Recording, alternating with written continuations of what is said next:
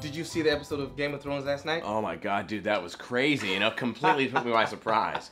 Although, know, you know right? what? It was kind of like right in front of my face the entire time. Right, right, and Oh, dude, it was so crazy. Like, it came out of nowhere. I I was just thinking that thing with the dragons. yeah, What? are you kidding? insane. Wow. What are you guys talking about? oh, we are just talking about uh, the Game of Thrones finale. Did you catch that? No, I heard it's good.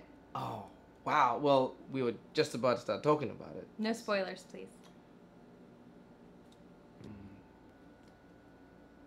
I mean, you know, the Breaking Bad finale is better than that anyway. Right? Like how uh, when Walt dies Ah, and la, you la, see. la, la, la, la. I didn't hear that. I didn't hear that.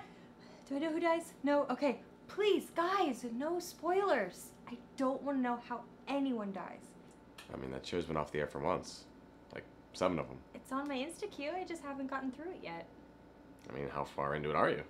I am halfway through episode one. I'm hooked. Okay.